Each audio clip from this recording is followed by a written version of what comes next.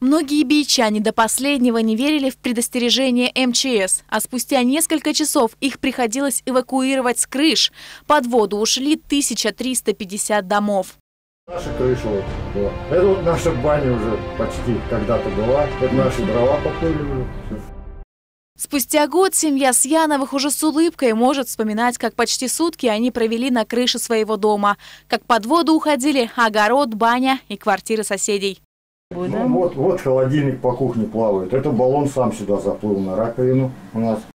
Полгода Сияновы живут в этом доме. 60 новых квадратных метров вместо 30, пришедших в негодность. Главная гордость семьи – подворье.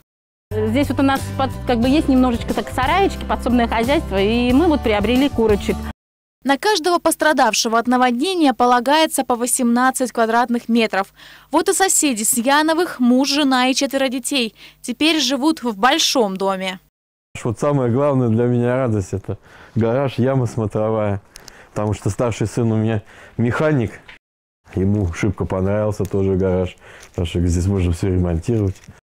Однако получить сертификаты смогли не все желающие. Семья Владимира Скакуна до сих пор ведет судебные разбирательства. В Барнауле такое заключение сделали, что дом пострадал не от наводнения, а это, ну, от старости, износ старости.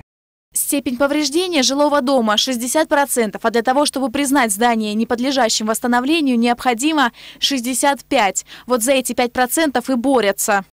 Супруга-то сразу не стала жить здесь, то, что у нее бронхит. Вот.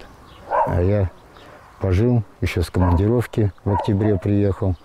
Вот маленько пожил, пробовал натапливать дом. А оно бесполезно. Вроде натопится, все, и часа два проходит, а опять холод дома.